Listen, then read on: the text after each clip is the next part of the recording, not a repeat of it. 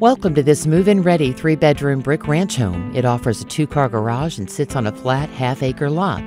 You'll love the large living room with a wood burning fireplace, the eat in kitchen, and the spacious family room.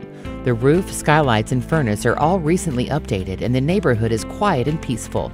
Don't miss out on this unique opportunity. Call Rebecca and Kelly